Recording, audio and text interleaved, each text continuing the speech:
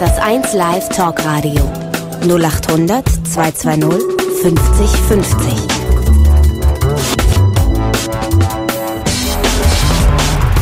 Domian im WDR Fernsehen und in 1 Live. 0800 220 50 50. So, meine Lieben, wir sind wieder da. Ich freue mich, dass ihr auch da seid. Willkommen bei Domian. Willkommen beim 1 Live Talk Radio. Unser Thema heute Nacht heißt Gewissensentscheidungen. Und ich möchte gerne mit euch über Entscheidungen sprechen, die man nicht leichtfertig trifft, sondern die, ja, die einen vielleicht bisweilen in große innerliche und auch moralische Bedrängnis bringen. Also beispielsweise steht ihr vielleicht äh, vor der Frage, einem schwerstkranken Angehörigen eine Magensonde legen zu lassen, also ihn äh, zwangsernähren zu lassen. Oder ähm, habt ihr vielleicht selbst die Diagnose einer schweren Krankheit bekommen und habt für euch entschieden, ich möchte das meinen Angehörigen nicht zumuten, ich schweige. Ist das richtig oder ist das falsch? Oder ähm, gab es vielleicht in eurem Leben die Situation, dass ihr einen sehr, sehr geliebten Menschen habt fallen lassen müssen, weil ihr am Ende eurer Kräfte wart. Und es gibt zahllose Beispiele und jeder von uns hat ja mehr oder weniger im Leben ja schon einmal oder mehrmals solche Entscheidungen treffen müssen. Wenn ihr gerne mit mir darüber sprechen wollt, wenn ihr vielleicht gerade mittendrin in einer solchen Entscheidungsphase seid oder sie irgendwann in eurem Leben mal getroffen habt, ähm, und mit mir darüber sprechen äh, wollt, dann könnt ihr das gerne machen unter der bekannten Telefonnummer 0800 220 50 50 oder mailt uns ganz einfach domian.wdr.de. Gewissensentscheidungen, unser Thema heute Nacht und der erste Anrufer, ähm, das ist der Kalle. Hallo Kalle. Hallo, guten Morgen, Jürgen. Hallo Kalle, wie alt bist du? Ich bin 58. 58. Du hast dich zu dem Thema Gewissensentscheidungen bei uns gemeldet. Warum? Ja, als du gestern Abend das Thema für die heutige Talknacht durchgegeben hast, hat, sind bei mir alle Lampen angegangen, mhm. weil äh, ich genau das mit meiner Mutter erleben musste, äh, dass halt eben Ärzte versucht haben, ihr die Magensonde zu verpassen, mhm. obwohl meiner oder unserer Meinung nach, also es war nicht nur meine, sondern auch die Schwester meiner Mama und mein Stiefvater der gleichen Auffassung, dass man sie einfach in Ruhe und in Würde gehen lassen sollte und nicht jetzt da also noch rumdoktern, mhm. weil es bestand keine Chance mehr, dass sie überhaupt noch. Wann, äh, wann war das? Konnte. Das war äh, 2006. 2006 liegt also gar nicht so lange zurück. Äh, fangen wir mal vorne an. Äh, ja. Äh, deine Mutter war schwerst erkrankt. Welche Krankheit hatte sie? Das weiß ich nicht wirklich, wie das Ding hieß. Sie ist 1997 von einem Auto angefahren worden, aber so aus dem Stand, also einfach nur so auf den Hinterkopf gefallen. Mhm.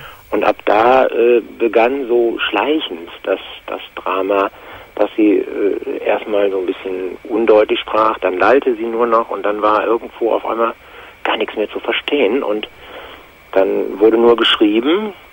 Sie hat uns dann alles aufgeschrieben, was sie meinte. Das war teilweise recht witzig, was dann so dabei herauskam, wenn ein alter Mensch dann mit einer mit seiner alten Schrift mhm. da so Dinge aufschrieb.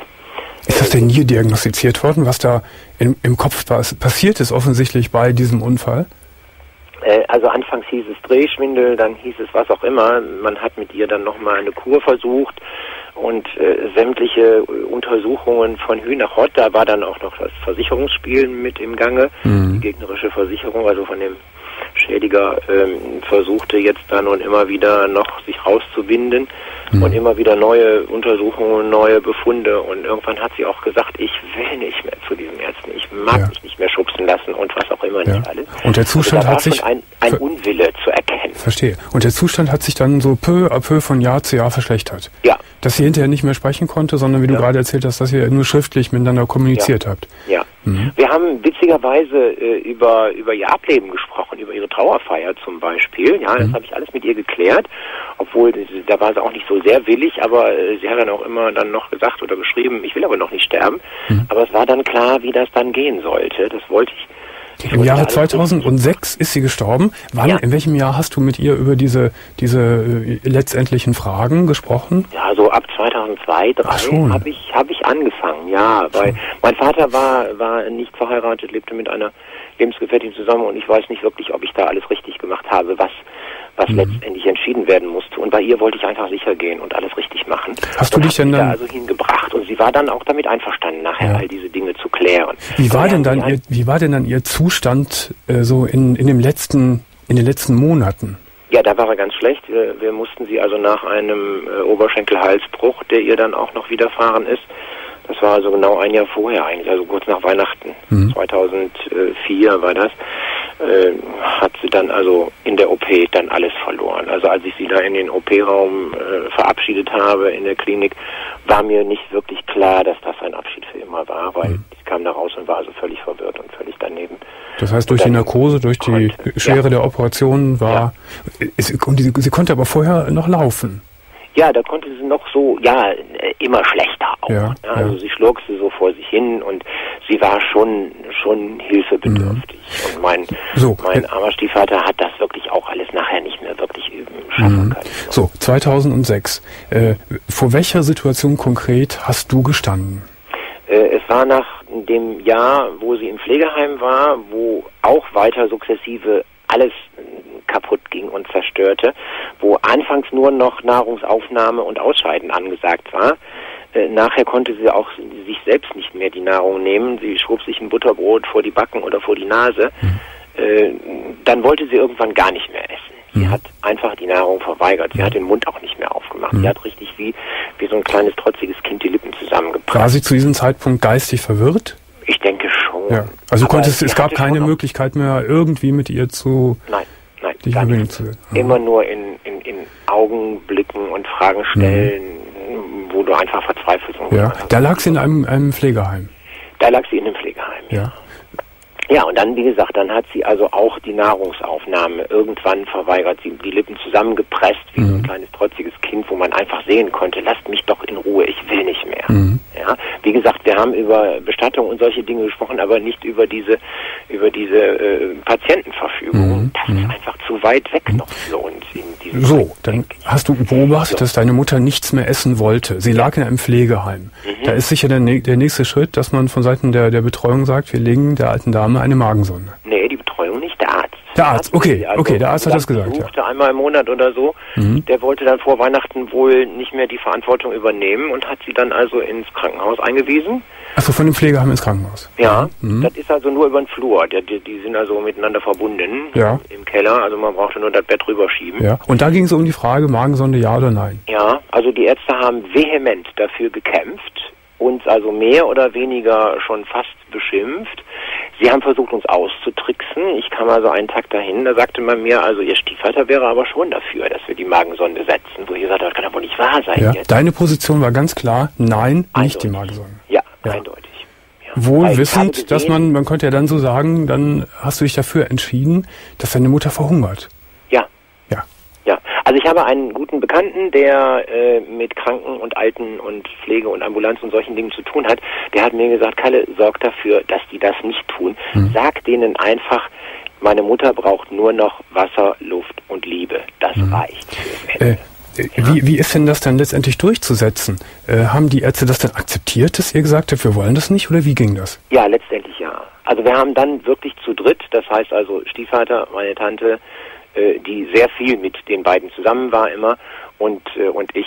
Wir haben also mit zwei Ärzten wirklich ein ein ein, ein heißes Ringen gehabt eigentlich. Mhm. Sie haben uns also versucht in den schillerndsten Farben diese wunderbare Magensonde zu erklären, mhm. was natürlich auch toll sein kann, wenn mhm. man jung ist und eine Chance besteht, wieder aufzustehen. Aber meine ist, Mutter wäre nie wieder aufgestanden. Ist, äh, ja, das ist dann immer das Argument. Das ist das entscheidende Argument. Ja. Äh, ist denn die Mutter dann im Krankenhaus geblieben? Nein, die haben sie dann also recht trotzig vor Weihnachten wieder äh, rübergeschoben. Ins Pflegeheim? Ins Pflegeheim, mhm. wobei die, das Personal, also die Pfleger, die sie jetzt nun ein Jahr kannten, uns beglückwünscht haben und gesagt haben, klasse, dass sie sich durchgesetzt ja. Und ist deine Mutter dann in, dem, in dem Pflegeheim gestorben? Also da in dem in diesem Heim, da liegen so viele, äh, es, es, heißt da, es gibt da so einen, so einen wunderbaren tollen Begriff Matratzengruft. Da liegen mhm. Menschen teilweise zehn Jahre und länger mhm. auf die Matratze mhm. genagelt durch so eine mhm. Sonde, die stehen nicht mehr auf. Mhm. Und da fragt man sich natürlich, warum tun wir sowas? Mhm. Ja, weil äh, man kann natürlich jetzt über Sterbehilfe und solche Dinge. Wie lange hat es, wie lange hat es gedauert, dann bis deine Mutter gestorben ist? Äh, fünf Wochen. Fünf Wochen. Fünf Wochen, also Ende Januar. Wie, wie hast du das denn? Ich, warst du oft bei ihr? Ja, natürlich, klar. Mein Stiefvater war jeden Tag. Ich war also wie hast Woche du mindestens einmal. Einmal in der Woche? Mindestens einmal, ja. Mein, mhm. mein Stiefvater war jeden Tag bei mhm. Ja. Und ich bin also einmal die Woche, zweimal die Woche da gewesen. Mhm. Ähm, wie hast du denn dann das Sterben erlebt? Äh, man hat ihr die Nahrung entzogen. Hast du äh, den Eindruck gehabt, dass sie, dass sie gekämpft hat, dass sie gelitten Nein. hat oder es Nein, für nein. sie Nein, überhaupt gar nicht. Also sie hat Wasser bekommen, ne, die, die, die, äh, Mhm. die Wasserzufuhr über den Oberschenkel. Das darf das Pflegepersonal machen. Dazu Mhm. muss man also nicht examinierter äh, ja Pfleger oder sowas sein. So, und äh, ja, Luft und Liebe hat sie von uns bekommen. Also Weihnachten, Heiligabend war ich bei ihr und da hat sie mir noch Eis abgenommen, so ein paar Löffelchen. Für Eis konnte die leben und sterben, da ist sie nachts für aufgestanden. Da hat sie mir noch so ein paar Löffelchen Eis abgenommen und das war dann so eigentlich das Letzte, was sie, wofür sie nochmal den Mund aufgemacht hat. So, nun sind äh, äh, zwei Jahre vergangen, ungefähr, Ja. seitdem. Ähm, das ist ja schon auch eine wirklich eine große und schwierige Entscheidung. Das ist wirklich eine Gewissensentscheidung. Ja. So auch im Nachhinein. Äh, Ja. Findest du, dass du richtig gehandelt hast? Ja, völlig. Völlig.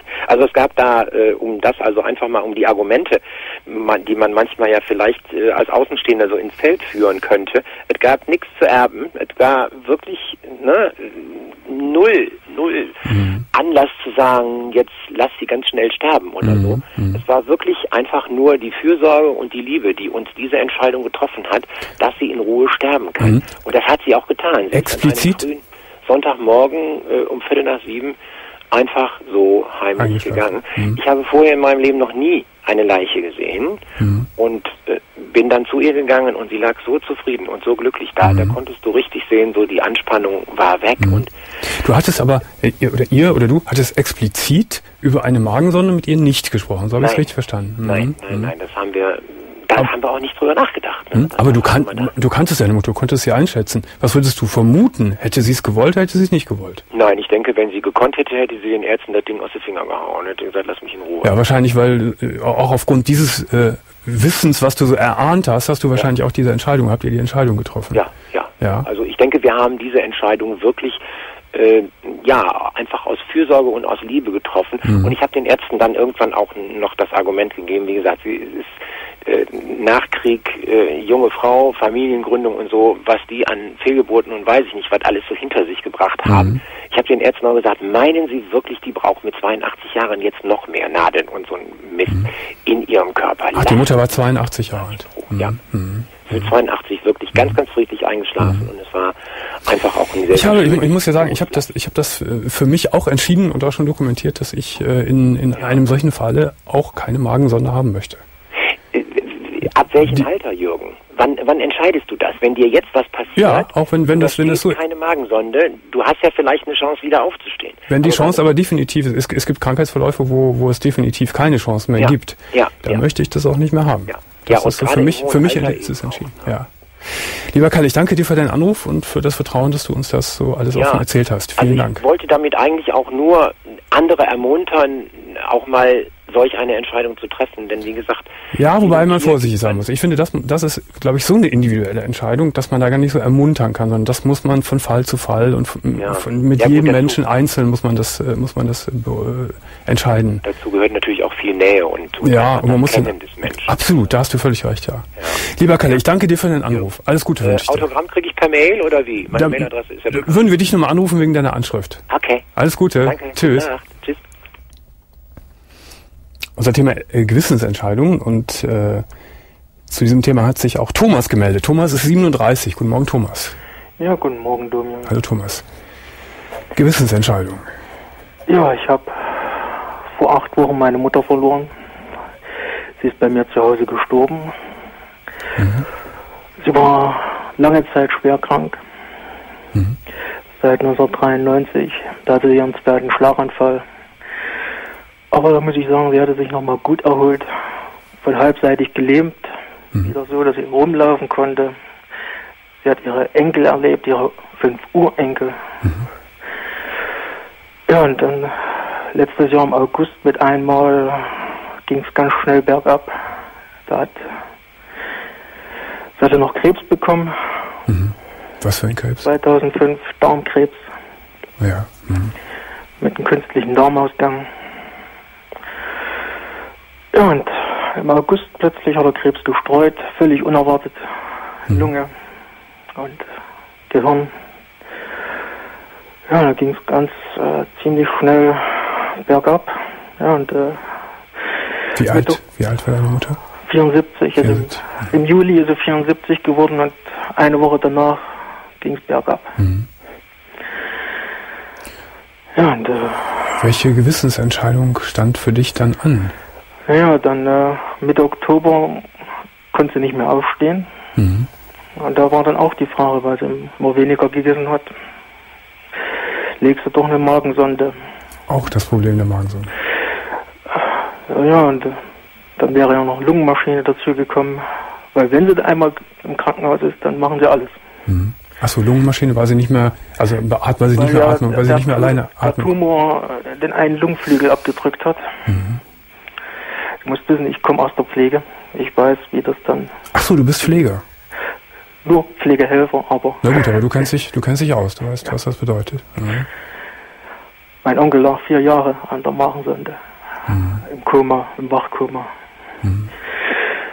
Erzähl ja. mal von deiner Mutter weiter. Also es stand dann die Frage, soll sie eine Magensonde bekommen? Soll sie an das Beatmungsgerät kommen? Ja, aber. Im Krankenhaus. So schwer es mir gefallen ist, äh, ich habe lieber darauf verzichtet. Konntest du mit ihr noch darüber sprechen? Ich hatte vorher schon mit ihr ein ausführliches Gespräch geführt. Ein Jahr vorher ist der Vater gestorben. Und mhm. da hatte ich sie gefragt, was denn werden soll, wenn mal was Ernsteres ist. Mhm. Da hat sie gesagt, sie möchte ganz friedlich einschlafen, zu mhm. Hause in ihrem Bett. Mhm. Ja, das haben wir dann auch gemacht. Mhm. Gab es denn Ärzte, die darauf gedrungen haben, dass sie an die, an die Maschinen, an die Schläuche kommt? Nee, also. Man, man hat euch in Ruhe gelassen. Weder der Hausarzt noch der Tumorspezialist mhm. haben da drauf gedrängt, sondern haben gesagt, das sehen wir genauso. Dass das ist ja auch wirklich immer so die Frage, wenn man alles nochmal aktiviert und äh, diesen Menschen dann, wie man das ja oft auch im Fernsehen sieht, oder du hast es ja real wahrscheinlich so oft gesehen, wenn er in einem Krankenbett liegt mit, mit tausend Verbindungen und Schläuchen. Ähm, was, was würde es bringen? Es würde eine gewisse Lebensverlängerung wahrscheinlich bringen. Aber zu welchem Preis? Ja, es hätte vielleicht noch zwei Monate, vielleicht noch ein halbes Jahr bis jetzt gebracht, aber mhm. es wäre immer qualvoller gewesen. Mhm. Und das mhm. Wichtigste hat sie vorher nochmal erlebt. Ich habe nochmal alle Urenkel herkommen lassen. Mhm. Und da war sie noch so weit geistig da, ja. dass sie nochmal erlebt hat.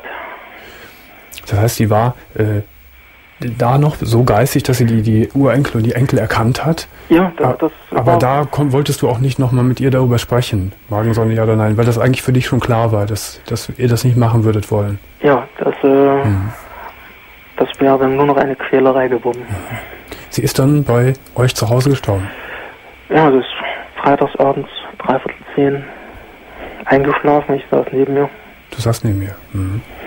Lebt dein Vater auch noch? Nee, der ist letztes Jahr gestorben. Ja. Äh, hast du zusammen mit deiner Mutter in einem Wohn- oder Haus gewohnt? Äh, ich habe seit 93 wieder bei meinen Eltern gewohnt. Mhm. Damit das. Also du hast ja gerade gesagt, dass der Vater vorher gestorben war. Entschuldige. Ja. Ja. Hm. Die, die braucht nur mal eine kleine, sanft geschiebene Hand, die mhm. für ein bisschen für Ordnung sorgt. Mhm. War denn das Sterben deiner Mutter ähm, war es ein friedliches Sterben? Ja, sie war donnerstags ins Koma gefallen mhm. und freitagsabends, Viertel zehn, ist er aufgewacht plötzlich wieder. Mhm. Das kommt öfters vor. Mhm. Ja, und ich habe ja nochmal mit, da gibt es so schöne kleine Tupfer, einen Mund mit Wasser ausgetupft, mhm. mhm. weil sie Durst hatte. Mhm. Und da war sie nochmal klar, hat mich aber erkannt. Ja, und dann ist die Atmung immer schneller und flacher geworden. Mhm. Und dann hat sie aufgehört zu atmen. Mhm. Warst du alleine mit ihr? Zu dem Zeitpunkt ja. Meine Schwester und mein Schwager waren den Tag vorher da, weil wir dachten, da ist es schon soweit, weil sie am, Koma, am Koma gefallen war. Mhm. Und äh, sie mussten aber dann auch arbeiten gehen. Die zwei haben Arbeit. Meine mhm. Schwester ist Krankenschwester, mein Schwager ist Pfleger im Altenheim. Mhm. Also eine Familie aus dem pflegerischen Bereich und medizinischen Bereich. Ja, mein ja. Bruder ist bei der Feuerwehr Rettungsassistent. Mhm. Auch an dich die Frage, das habe ich Kalle gerade auch schon gefragt, bei, bei euch ist es ja noch sehr frisch, deine Mutter ist erst acht Wochen verstorben. Ähm, ich höre daraus, dass das für dich die absolut richtige Entscheidung war. Du mit deinem Gewissen im Reinen bist. Mit meinem Gewissen bin ich im Reinen, ja. Mhm. Sie fehlt mir eben nur. Natürlich, natürlich, natürlich. Du hast deine Mutter verloren, na klar. Aber äh, es ist ja denn dennoch, dennoch gut, wenn man für sich sagen kann, ich habe das Richtige getan. Noch schlimmer ist es ja, äh, jetzt zum Beispiel die Mutter zu verlieren und sich hinterher Vorwürfe zu machen, ich habe irgendwas falsch gemacht. Ja, das wäre eine schwere Gewissensbelastung. Mhm. Aber ich habe soweit ihre Wünsche befolgt. Mhm. Und ich habe alles äh, für sie getan, was mhm. möglich war. Mhm. Du das, äh, gut, du bist ein junger Mann von 37, aber das heißt ja nichts. Äh, es kann uns alle immer erwischen zu jedem Zeitpunkt. Hast du für dich auch so eine Entscheidung getroffen, dass du äh, in einer solchen Situation darauf verzichten würdest wollen? Ja, weil ich bin selber, ich habe seit 25 Jahren Rheuma, seit 20 Jahren Diabetes. Da muss man Vorsorge treffen für mhm. solche Fälle. Das heißt, du sagst auch Nein für diese Art der lebensverlängernden Maßnahmen. Ja, also ich möchte keine Markensünde. Mhm. Mhm. Das ist wirklich ein großes Thema. Ich habe das gerade in meinem Bekanntenkreis auch, zwei Leute, die sich damit beschäftigen müssen. Das ist wirklich eine schwierige und große Entscheidung unter Umständen, was man macht und wie man es macht. Ja, aber das kann ja nur mal nur jeder für sich allein entscheiden, aber man sollte sich damit beschäftigen. Ja, und man sollte vor allen Dingen auch mit, mit den Angehörigen, wenn man Eltern hat oder mit Freunden, vorher ausführlich drüber sprechen. Ja. Damit die, die übrig bleiben, die gesund sind, wissen, was der Kranke will, was der wirklich wollte und dass sie sich dann entsprechend verhalten und den Wunsch erfüllen. Ja, man sollte es zum einen schriftlich niederlegen mhm. und gleichzeitig aber auch seinen Willen dann mündlich nochmal bekunden, mhm. damit auch jeder weiß, was mhm. man hinterlegt mhm. hat. Lieber Thomas, das ist jetzt eine schwere Zeit für dich. Es ist, du bist in der, in der ersten schweren Trauerphase jetzt nach acht Wochen. Ja. Ich wünsche dir viel Kraft. Und das wird sicher noch lange dauern, ehe eine gewisse Normalität eintritt. Es ist auch bei jedem anders. Ja, das dauert noch. Mhm. Nur die Arge war schnell. Bitte? Das, das Hartz-IV-Amt. Ach so, ach so. Mhm. Die waren schnell mit der mhm. Aufforderung, ihre Wohnung ist zu groß. Mhm. Ja, mit sowas muss man sich dann ja auch mal rumschlagen. Wenn man schon in so einem Seelentief steckt, dann die ganzen Formalitäten auch zu erledigen. Ja, das ist halt auch geregelt. Lieber Thomas, ich wünsche dir von Herzen alles Gute und viel Kraft für die jetzt die bevorstehende Zeit. Ja, ich bedanke mich und wünsche dir noch einen schönen Morgen. Danke sehr, sehr nett von dir. Dankeschön, Thomas. Tschüss. So, meine Lieben, solltet ihr zufällig reingeschaltet haben, ähm, unser Thema heute Nacht heißt Gewissensentscheidungen. Ich möchte gerne mit euch über Entscheidungen treffen, äh, äh, äh, reden, die ihr getroffen habt oder vielleicht noch treffen werdet, die sehr kompliziert sind, wo es um sehr viel geht, wo es vielleicht um Leben und Tod geht oder wo es darum geht, äh, sich vielleicht ähm, gegen einen Menschen zu entscheiden, den man liebt, vielleicht sogar gegen das eigene Kind, weil man die Kraft nicht mehr hat, weil man sich vielleicht Jahre und Jahre und Jahre mit dieser Person beschäftigt hat und man einsehen muss, ich kann nicht helfen, ich muss diesen Menschen fallen lassen. Oder äh, Gewissensentscheidungen ganz anderer Art. Es gibt ja äh, vielfältige Konflikte, in die man geraten kann, äh, wo es eben nicht so eine einfache 0815-Lösung gibt, wo man sagt, das ist richtig und du musst das machen wo es individuell ist und wo man drüber sprechen muss und äh, viel, unter Umständen viel nachdenken muss. 0800 220 50 50, unsere Telefonnummer kostenfrei oder mailt domian.wdr.de. Herzlich willkommen, sage ich jetzt zu der Anne. Und Anne ist 56. Guten Morgen, Anne. Guten Morgen, Domian. Hallo, Anne. Was für eine Gewissensentscheidung hast du treffen müssen oder stehst vielleicht davor? Vor dreieinhalb Jahren habe ich eine Entscheidung treffen müssen, entweder leben oder sterben. Für dich? Für mich. Ja, erzähl mal. Ja, ich, also ich habe Krebs, Unterleibkrebs, Gebärmutterhalskrebs. Mhm. Und als ich meine Diagnose bekam, ähm, war ich natürlich schockiert, die ganze Familie. Und das erste, was ich bekommen habe, war ein Nierenkatheter. Das heißt, ich habe einen Schlauch im, hinten in der Niere. Mhm. Und da, da ist ein Beutel dran, den trage ich am Unterschenkel. Und da läuft Urin rein. Am Unterschenkel trägst du den Beutel? Ja. Das heißt, er geht von hinten aus, aus, der, äh, aus, Der dem, geht aus dem Rücken ein kleines Röhrchen runter, Richtig, ja. am Bein entlang. Ja, richtig. Und den trage ich am Unterschenkel. Warum muss der da unten hin? Kann man den nicht hier oben irgendwie befestigen? Ja, aber Hüfte? das geht nicht wegen, äh, wegen der Befestigung. Der ist an so einem Gummiband Mhm. und den kann man am besten unten am Unterschenkel äh, tragen, Ah, ja. weil das auch besser zum Entleeren ist. Der Okay. ist auch zum Entleeren. Mhm, mhm. Und das nächste war, ich äh, habe durch die Bestrahlung und durch die Chemotherapie eine Perforation am Darm bekommen. Mhm. Und äh, die Auswirkungen, die kann man sich vorstellen. Ähm, ich habe dann nicht richtig Stuhl machen können Mhm. und habe dann, um den Darm zu entlasten, einen äh, künstlichen Darmausgang bekommen. Das auch noch. Einen künstlichen Darmausgang. Richtig. Mhm. Den habe ich dann sechs Monate lang getragen. Und dann hatte man mir gesagt, bei der Untersuchung nach sechs Monaten, der wäre, also die Perforation am Darm wäre wieder zurückgegangen. Mhm. Also die Verletzung am Darm. Richtig durch, ja, die ist durch die durch die durch das Kre durch das Krebsleiden und durch die äh, Chemother äh, durch die Bestrahlung, die ich hatte, äh, ist das dann aufgetreten. Dann habe ich ein halbes Jahr meinen ähm, künstlichen Darmausgang getragen. Dann wurde das wieder rückverlegt und ich war sehr glücklich. Ja. Und dann ungefähr ein halbes Jahr später, dreiviertel Jahr später, ist das wieder aufgetreten, dass dieser Darm wieder perforiert ist. Und ich musste mich entscheiden für einen zweiten künstlichen Darmausgang. Den habe ich jetzt seit 15 Monaten. Ich musste mich dafür entscheiden, entweder sterben oder leben. Das war die große Entscheidung für dich. Das war eine sehr große Entscheidung. Dass du, äh, also die Entscheidung war, ent entweder lasse ich diesen künstlichen Darmausgang wieder machen. Oder ich sage nein und das hätte bedeutet, dass du gestorben wärst. Ja, gestorben nicht direkt, aber ähm, das wäre nicht gut gewesen für meinen Bauch und für meine, für mein Unterleib. Aber es hätte als, als Langzeitfolge tödlich geendet? Richtig, ja, ja, weil ähm, der Stuhl hätte den Unterleib irgendwie verunreinigt. Ja, und ich muss sagen, ich bin den Ärzten dankbar. Zum Teil, ähm, dass, also, dass ich lebe und zum Teil, dass die Medizin heute schon so weit ist, dass man leben darf. Gab es denn da, vor dreieinhalb, vor dreieinhalb Jahren, ne, war das, ja, sagst du? das war die Diagnose. Ja, äh, als diese Entscheidung dann zu fällen war, Ja. äh, gab es da Momente, wo du sagtest oder dachtest, ich, ich, ich habe keine Lust mehr, ich will nicht diese ganze Tortur nochmal mitmachen, dann soll es halt alles seinen Gang gehen und wenn ich dann sterbe, na dann sterbe ich halt. Die hat, ich denk- denke mir, ein Krebsleidender äh, äh, hat, hat diese Momente.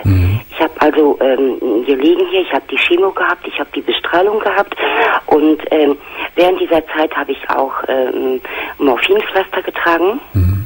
Also die musste ich haben, weil ich sehr große Schmerzen hatte. Und da habe ich schon manchmal dran gedacht, meinem Leben ein Ende zu setzen. Mensch, Anne, du hast aber auch viel mitgemacht muss ich Ja, auch so sagen. ich. Wenn ich Aber- das höre, also Aber ich muss sagen, die Medizin ist heute so weit, dass Menschen leben dürfen damit. wie geht Und es dir jeder- denn, wie geht es dir denn im Moment? Ich, äh, mir geht es sehr gut. Das heißt, du hast aber den künstlichen Ausgang und, den- und du ja. hast auch diesen diesen äh, Nieren. Da muss ich jede sechs Wochen ins Krankenhaus Ja. Zur Urologie. Der wird hinten aus dem Rücken rausgezogen. Das ist schmerzhaft. Mhm. Jetzt muss ich mal was fragen, weil ich das nicht weiß. Wenn man einen Nierenkatheter hat, macht man dann auch noch normal Pipi? Ja, Oder- richtig. Das macht man auch noch. geht normal noch zur Toilette. Das ist eine Unterstützung. Das, Also. äh, ich habe einen Nierenstau gehabt Mhm. und das unterstützt die Niere beim Ablassen von Wasser. Verstehe, verstehe. Ja, also ich habe meine Körperfunktionen sind erhalten, nur die Niere wird dadurch unterstützt, äh, Ah ja. das äh, also auszuscheiden. Hat man denn den Krebs im Griff? Äh, mein Krebs ist durch die Chem Chemo und durch die Bestrahlung ähm, verkapselt, Mhm. ist aber noch in meinem Körper. Aber du bist trotz all dieser, dieser, dieser, dieser schweren, schweren, schweren Belastungen der letzten Jahre, wirkst du nicht äh, niedergeschlagen. Ja, niedergeschlagen war ich. Ja, als ich die Diagnose bekam. Mhm. Ja, ja, natürlich. Und niedergeschlagen war ich, als mir das alles passiert ist. Aber ich habe eine Familie und einen Partner, der hat mich damals nicht im Stich gelassen. Mhm, Und ich denke mir die Familie. Du hast Kinder? Ich habe drei Töchter. Ja. Ja, und ich auch Großmutter Mhm. Mhm. und äh, die und habe einen Partner, der hat mich Gott sei Dank nie nicht im Stich Mhm. gelassen. Der hat mich auch, der begleitet mich auch heute noch, wenn es geht, zu jeder Untersuchung. Ich glaube, sowas ist unfassbar wichtig. Wenn man sich vorstellt, oder wenn du dir vorstellst, in der Situation, in der du warst, Ja. wenn du allein, komplett alleinstehend gewesen wärst, Ja. Wäre das Aber da gibt es auch Psychologen im Krankenhaus. ja, schon, aber so, wenn man so eine liebende Familie ist, doch was ganz an- anderes als ein Psychologe. Das Ne? das stimmt. Also ich hatte mal versucht, äh, auch ähm, als ich down war, so ähm, jemanden äh, mit jemandem zu reden Mhm. oder Selbsthilfegruppen, ähm, also zu Selbst Selbsthilfegruppen zu gehen. Aber ich habe gemerkt, dass mich das runterziehen Mhm. würde.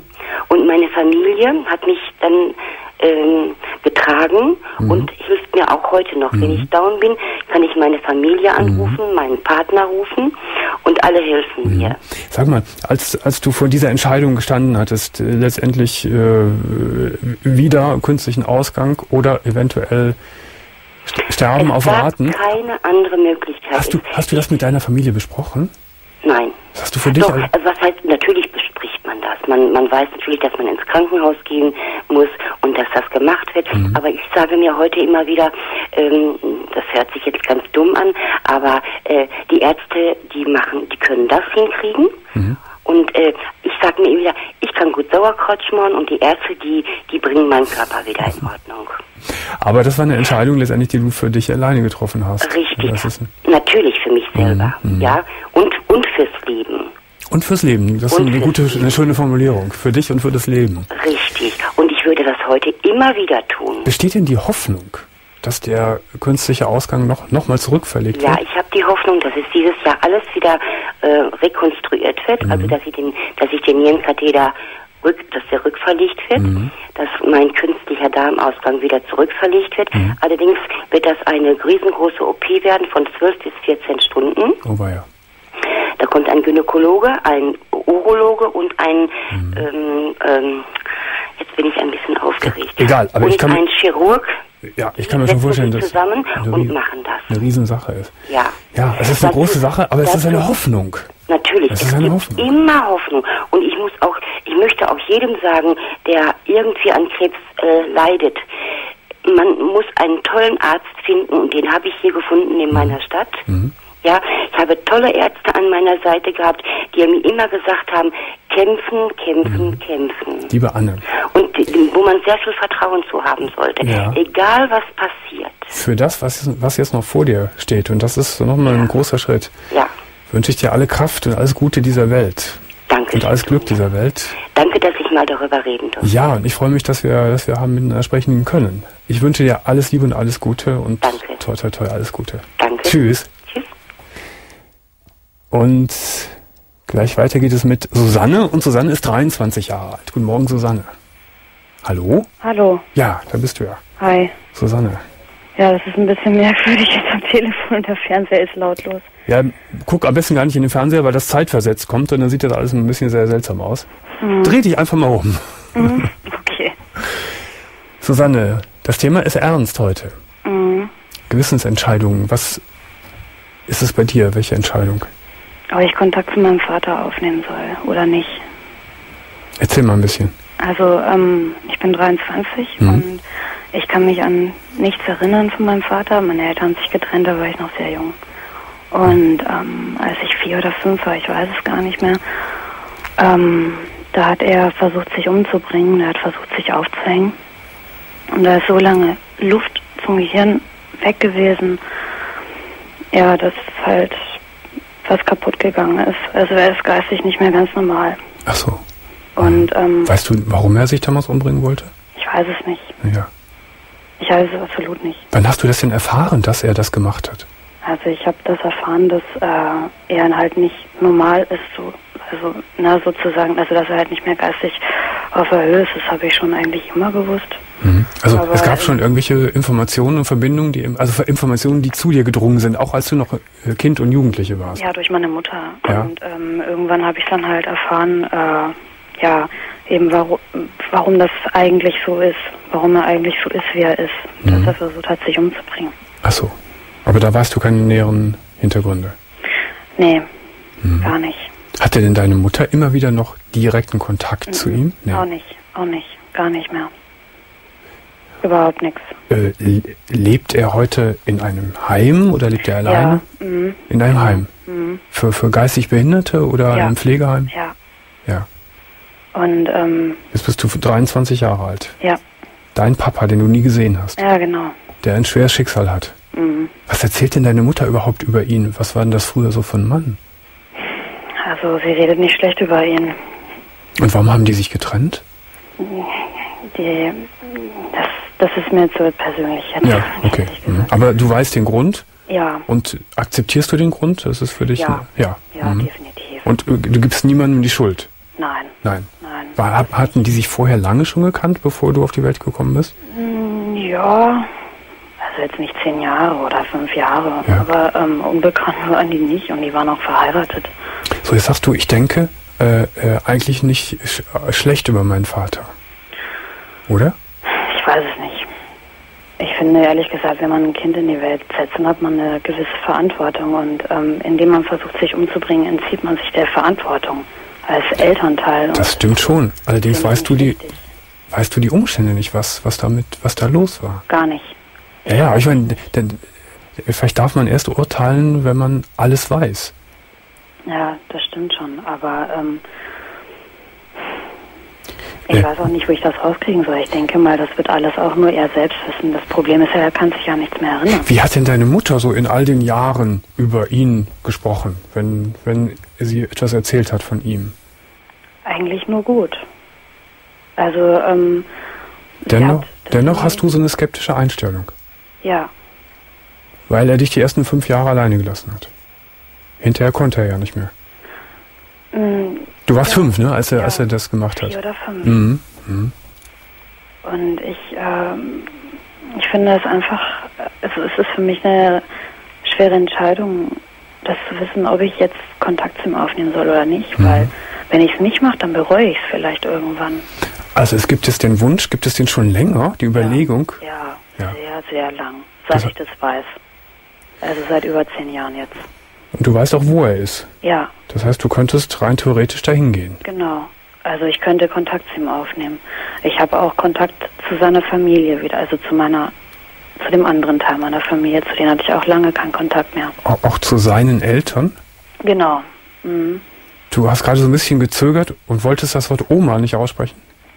Oder Opa? Ja, ja Oma. Weil es so fremde Menschen eigentlich für dich sind. Eigentlich schon, ja. Mhm.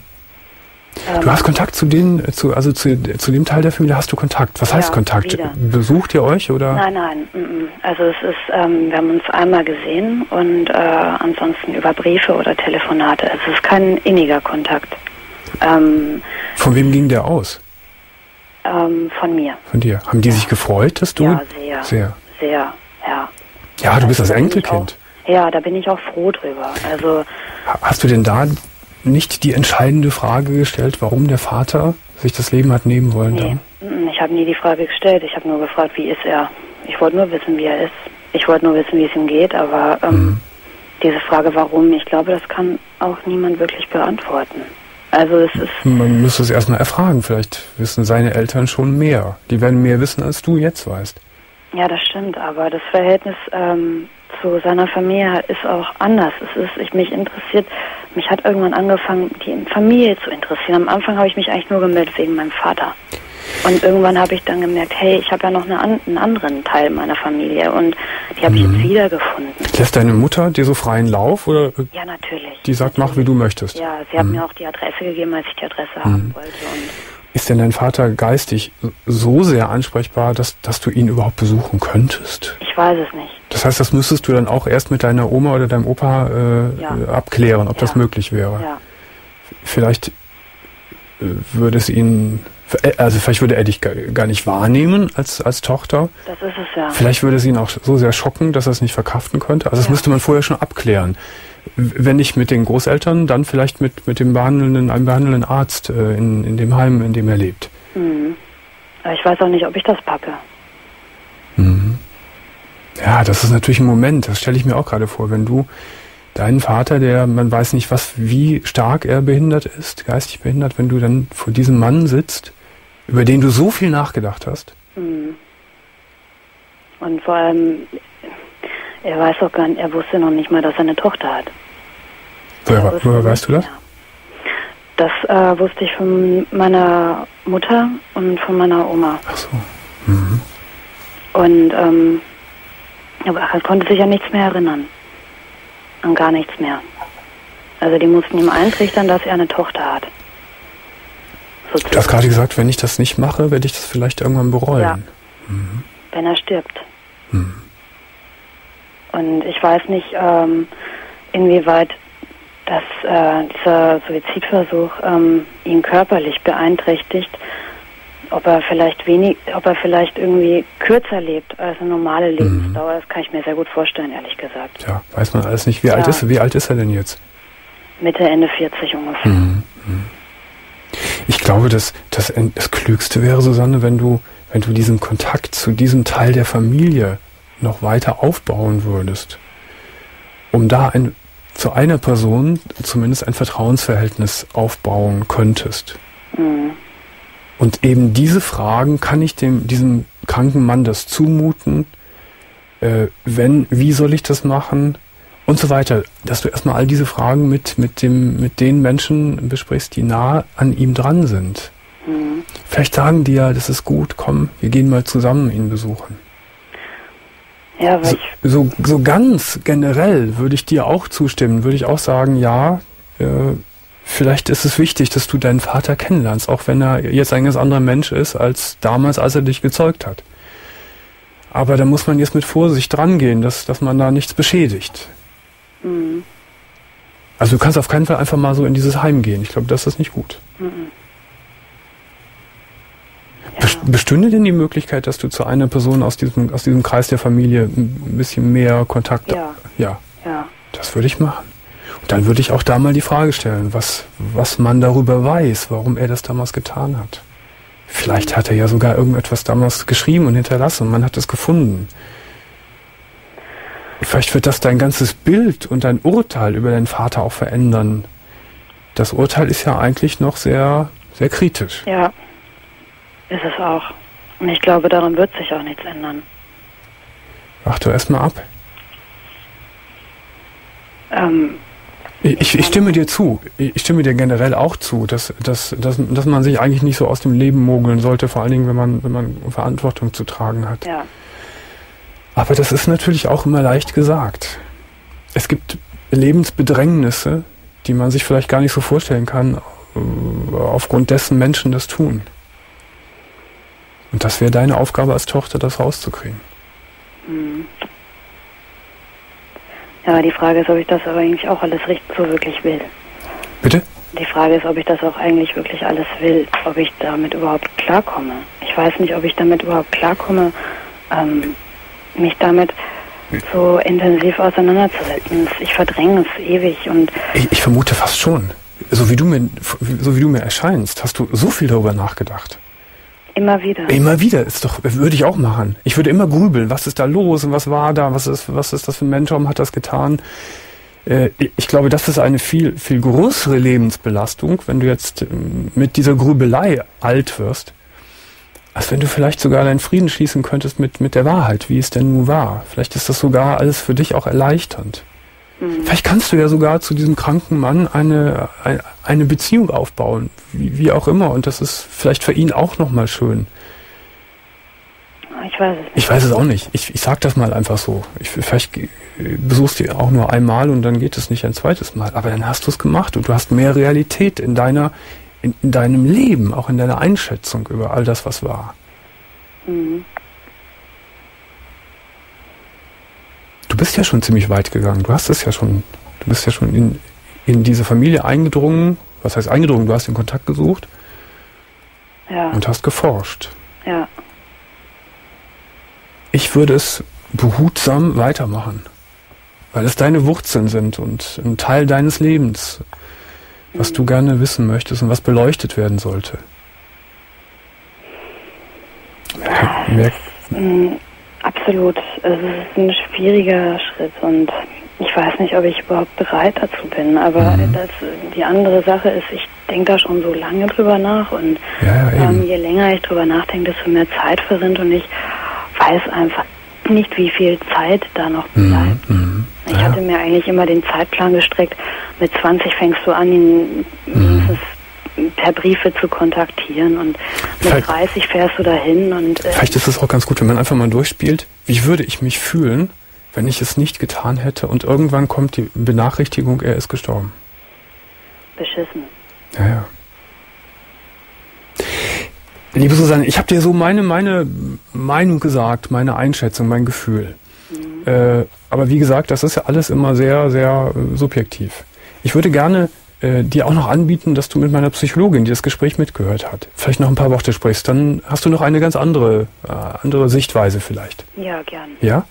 Dann bitte ich dich aufzulegen und du wirst von Simone, meiner Psychologin, heute Nacht zurückgerufen. Dankeschön. Alles Gute. Ja, Dankeschön. Tschüss. Tschüss.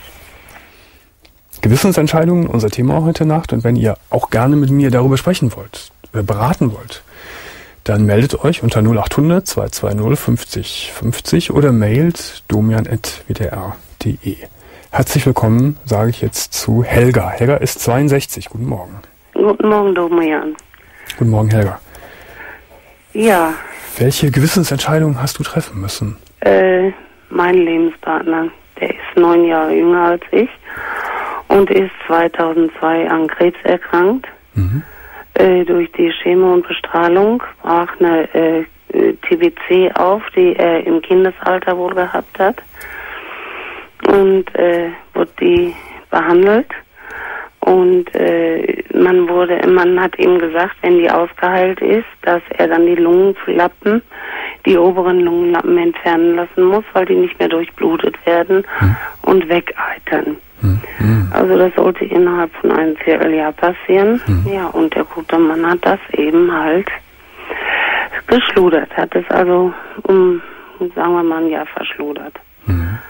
Ja, und dann kam es zur OP, dann hat er sich endlich in der Klinik angemeldet, dann kam es zur OP. Da war der eine, der rechte Lungenflügel ganz weg, der war weggeeitert. Da mussten sie dann... Lass mich mal eben, lass mich mal eben zwischendurch fragen. Äh, das habe ich also noch nie gehört, dass der Lungenflügel wegeitert. Ja. Hat er das nicht, hat er nicht irrsinnige Schmerzen gehabt? Die vorher? Schmerzen gar nicht, die Lunge macht keine großen Schmerzen. Er hat eiterigen äh, Auswurf, Auswurf ah, so. gehabt. Ja, ja. Hm. Und äh, man, ich habe ihm immer wieder nahegelegt zum Arzt. Ich sag, das muss gemacht werden. Mhm. Aber er zögerte das raus, aus Angst, ne? Mhm. Aus Angst vor dieser OP und auch wieder Krankenhaus. Er war Ja. ja jetzt dann auch mehrmalige äh, Monate im Krankenhaus. Ja. So, dann kam es zu dieser Operation. Ja. Mhm. Und, dann? Äh, da stellte sich dann raus, dass der rechte Lungenflügel weggeeitert war. Der linke Lungenflügel war zu, total zusammengebrochen. Der musste ganz neu aufgebaut werden. Hm. Das hat man dann auch gemacht. Die OP dauerte circa acht Stunden. Äh, dann wollte ich ihn am nächsten Tag besuchen, komme da auf die Station, wo er hätte liegen müssen. Da lag er dann auf Intensiv. Er hat einen Herzstillstand gekriegt. Das war der erste. Er hat äh, sechs Monate in Bochum gelegen. In diesen sechs Monaten hatte er sieben Herzstillstände. Nach dieser OP. Ja. Mhm. Äh, er ist mehrmals operiert worden, weil dieser OP-Stumpf immer wieder aufging von dem äh, Flügel, der entfernt wurde. Es war immer wieder Blut da. Äh, er musste künstlich beatmet werden. Vor welcher Gewissensentscheidung hast du gestanden, Helga? Ja, äh, weil er künstlich beatmet werden musste, er hatte einen Tubus im Hals. Mhm. Äh, den hat er sich immer wieder rausgerissen. Mhm. Und äh, er stiegte dann auch, hatte panische Angst vorm Ersticken und nach jedem äh, Herzstillstand sagte er mir, ich will leben.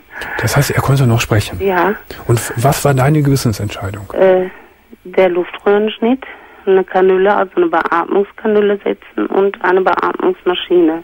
Mhm. Das musstest du, das hast du also quasi entscheiden müssen, Ich entscheiden. ob äh, das gemacht werden sollte. ja, Hast du es entschieden? ja sicher. Ich wurde Vormund. Äh, zeitgleich, zeitgleich wurde auch eine Magensonde gelegt. Mhm. Der hatte abgenommen von 60 Kilo auf 42 Kilo. Während dieses alles getan Während wurde, Zeit, ja. hatte er, war er immer wieder geistig auch präsent? Immer voll da. Immer Wenn voll er da. aus dem Herzstillstand kam, zwei, drei Tage später, künstliches Koma, dann wurde er wachsamig. Konntest du denn mit ihm auch über, die, über diesen Luftröhrenschnitt äh, sprechen? Äh, ja, Und hat er gesagt, ja, mach das?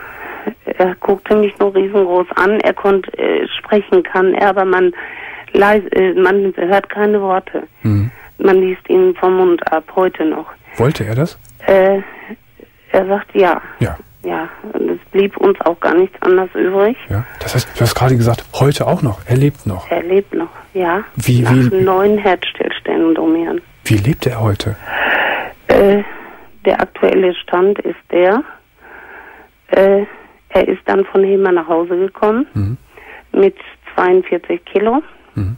und äh, mit Begleitarzt. Der hat mir den Mann übergeben und hat gesagt, wenn er hier eine Viertelstunde überlebt, dann haben sie Glück. Wie lange ist er jetzt schon zu Hause? Äh, zwei Jahre jetzt. Zwei Jahre. Und er lebt Jetzt, auch. Also zwei, ein er, Vierteljahr. er ist zu Hause. Ja. Und äh, ja, wie geht's ihm? Äh, Domian, er sitzt mit uns am Tisch. Mhm. Äh, er trinkt sein Bierchen. Mhm.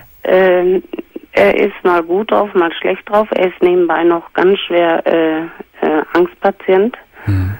Und äh, depressiv. Da kommen viele Faktoren aufeinander. Ein schwerkranker Mann, Ja. aber aufgrund dessen, was, Ja. du, an, was du gerade an Dramatik erzählt hast, das geht es ja den, den Umständen entsprechend gut, ne? Kann man sagen. ja, äh, in, im Moment die Phase, die ist sehr gut, ja. Er kann sich auch, er kann noch mal einen Spaziergang machen, geht das? Äh, nee, Domian, äh, da hat er Angst vor. Ach so. Er hat Angst rauszugehen und dass er vielleicht nicht genug Strom hat für seine Beatmungsmaschine. Ach, die Äh, Beatmungsmaschine ist noch immer Sie angeschlossen. immer noch aktiv. das Und heißt, er hat äh, immer noch einen, einen auch- Schlauch im Hals. Äh, er hat eine Kanüle im Hals. Eine Kanüle Unterhalb des Kinns, direkt Mhm. da, wo das Grübchen ist. Mhm. Äh, da geht eine Kanüle rein und oben auf diese Kanüle kommen die Schläuche Mhm. und wird durch die Maschine beatmet. Das heißt, äh, es ist schon eine schwere Belastung. Äh, Auch, ja, Domian. Das Äh, war, wir haben hier die Pflege zu Hause, die ist 24 Stunden vor Ort, Mhm. Der Mann ist nicht eine Minute alleine. Mhm. Das heißt, du hast den gesamten Haushalt umstrukturiert. Mhm. Äh, du bist nie alleine hier. Du kommst, wenn ich aus meinem Schlafzimmer komme und ich gehe nach vorne, dann ist sofort jemand da. Für dich äh, als 62-jährige Frau ist Ja. das ja auch, äh, wenn der Mann seit 2002, ne, Ja. äh, ist das ja auch eine enorme Belastung, körperliche und auch psychische Belastung. Das stimmt. Wie gehst denn du damit um? Tja, wie gehe ich damit um? Ich gehe ab und zu mal raus, ich bin selber auch behindert. Dann gehe ich mal raus, trinke irgendwo einen Kaffee und da habe ich auch mit meinen Kindern viel. Mhm. Die kommen also auch regelmäßig. Mhm. Aber Hast du ist mal- schon hart. Hast du manchmal das Gefühl, ich, ich schaff's nicht mehr, ich kann nicht mehr? Äh, ja, manchmal. Dann sagst du auch, boah. aber irgendwo, wenn du dann siehst, es ist ein Tag, wo es ihm wirklich wieder besser geht, wo er sagt, hm, das war schön oder das war schön. Oder so, wenn er am Weihnachtsbaum sitzt und sagt, das finde ich toll, dass ich das noch sehen kann und so, ne? Das sind die Glücksmomente. Ja? Mhm. Und auch für dich das Gefühl, dass du damals das Richtige gemacht hast? Äh, ja. Du sagst es zögerlich? Es, es blieb mir nichts anderes übrig. Nur sein Lebensraum ist dermaßen eingeschränkt. Er war ein Mensch, der viel gelaufen ist, viel im Wald war, sich Aggressionen weggelaufen hat und das kann er heute alles nicht mehr, ne? Ist er noch aggressiv manchmal? Nein, heute nicht mehr. Mhm. Mhm. Nee, heute nicht mehr. Heute ist er eigentlich für jedes und alles dankbar. Aber diese Entscheidung, diese Gewissensentscheidung mit dem Schnitt, ob er nun diese Kanüle, diese Beatmungskanüle bekommt oder nicht, ähm, war ja insofern schon eine große Entscheidung, aber in, auch vielleicht ein bisschen leicht, weil er es auch wollte, ne? Ja, es stand ja auch gleichzeitig die Debatte von wegen mit Magensonde, ne? Mhm. Mhm. Hätte ich die nicht machen lassen, der wäre mir unter der Hand verhungert, ne? Mhm. Stimmt, die ja. Magensonde war ja auch noch das. Ja. Dafür hast du dich ja auch entschieden. Mhm. Äh, der kriegte dann diese, diese künstliche Nahrung angehangen. Die, jede Nahrung, die sie ihm anhing, in jedem Krankenhaus, dem war schlecht. Der hatte nur Durchfall. Es hat nichts gebracht. Er hat immer weiter abgenommen. Und wie er dann von Heme kam, da habe ich gesagt, so jetzt ist Schluss damit. Dann habe ich, ich habe früher als junges Mädchen in der äh, Diätküche gearbeitet und da gab es solche Nahrung nicht, da mussten Mhm. wir Sonnenkost selber kochen. Dann habe ich diese ganzen Flaschen Nahrung weggepackt und habe ihnen Sonnenkost gekocht. Mhm. Und die haben wir einlaufen lassen. Und äh, ich habe ihn also schrittweise, wirklich ganz langsam schrittweise nach vorne gekriegt, äh, sodass er über diese Sonnenkost erstmal wieder halbwegs auf die Beine kam. Dann hinterher haben wir Kinderbrei gegeben und hast du alles gemacht, Julia? ja, das mache ich heute noch so mehr. Hast du, hast du nicht äh, auch die Angst manchmal, äh, wenn dir irgendetwas passieren würde, was, was dann mit dem Mann Äh, würde? Domian, er ist ja in guten Händen. Mhm. Äh, das ist einfach so. Äh, damals stand auch zur Debatte, seine Kinder, die waren, also die eine, die war gar nicht dafür, dass er nach Hause kam. Mhm. Die hatte dann gesagt, nee, sehe ich keinen Sinn drin, äh, der soll im Krankenhaus bleiben, wenn was ist, können sie ihm da besser helfen. Der wäre auch dann da geblieben im Pflegeheim. Mhm. Und er wollte, wenn, er wollte nach Hause mit allen Mitteln und hat gesagt, und wenn ich noch zum Sterben nach Hause komme, da war für mich klar, er kommt nach Hause, egal wie und warum. Ist das eigentlich, ähm, er, er ist ja geistig klar, ne? Klar, Er- ja, mhm. Domian. Das heißt, er, er kapiert ja auch, was da alles passiert ist damals. Doch, der weiß das ganz genau. Und Äh, äh, gibt es da so ein, auch schon mal, äh, hat er mal irgendwann zu dir gesagt, danke, dass du das so entschieden Oh hast? ja, das sagt er mir jeden Tag. Er sagt Danke und danke für alles. Und wenn du nicht wärst, wäre ich schon lange nicht mehr hier, sagt er. Jeden Tag einmal. Das ist ja auch rührend. Doch. Und das gibt Okay. dir, und das gibt dir auch sicher Kraft. Doch, Mhm. Doch. Also da muss ich wirklich sagen, da ist er ganz toll. Mhm. Ähm, was ist jetzt die, äh, so die nächste Hoffnung? Was könnte sich ja noch verbessern? Äh, Domian, äh, wenn er jetzt seine Angst überwindet, dann könnten wir ein Atemtraining machen, sodass er vielleicht mal für eine Stunde oder zwei oder wenn wir Glück haben, auch drei Stunden von der Maschine kann. Und das mache ich ihm schmackhaft, indem ich ihm sage, hör mal, das sind zwei oder drei Stunden, die für uns sind. Er kann es, wir wissen es. Also es geht um Es Angsttraining, geht dass um er seine Angst. Angst los Es wird. geht um Angst. Ist die Angst eigentlich auch gekommen mit dieser schweren Erkrankung oder hat er das früher auch Die schon? Angst war früher schon Die war schon da. ja. So. Nur äh, bei dieser schweren Erkrankung, da kam die Angst des Erstickens dazu, weil das Mhm. mehrmals vorgekommen ist. Und die Angst, die überwiegt, wie, äh, die überwiegt im Moment alles. Mhm. Und da arbeiten wir hier mit allen denn er kann alleine atmen. Ich weiß, gar nicht, ob ich dich gerade gefragt habe, wie alt dein Mann schon ist. Ich glaube, ich habe es Äh, nicht der gefragt. wird 55. 55. Ah, Ja. neun Jahre jünger hast du gesagt, ja. Ja, ja. Genau, so war es, ja. Mhm. Also ein, ein gar nicht mal alter Mann für, nein, für nein, so nein, eine. Domian. Und deswegen hat so, ein, so viel Lebensqualität eingebüßt. Mhm. Äh, das ist für mich sehr schwer, mir das anzugucken. Mhm. Dem haben sie, äh, für diese Operation haben sie dem drei Rippen ne, wegnehmen müssen. Mhm. Ein Stück vom Schulterblatt und ein Trägermuskel, alles aus der rechten Seite. Helga, meine Sendung ist gleich vorbei. Ja, Ich möchte zu dir aber nochmal sagen, dass ich großen Respekt vor dir auch habe, was du da leistest und was du Gutes deinem Mann tust. Das ist eine ganz große Lebensleistung. Eine ganz große ja, Lebensleistung. Domian. Wirklich. Das äh, sage ich mit tiefem Ernst und großem Respekt. Dankeschön. Wirklich. Ich wünsche dir und deinem Mann von Herzen alles Gute. Ja, Domian, ich danke dir. alles Mach Gute. weiter so. Und schöne Grüße an ihn. ja, ich danke dir. Tschüss. Tschüss. So, meine Lieben, das war's für heute. Unser Thema Gewissensentscheidungen.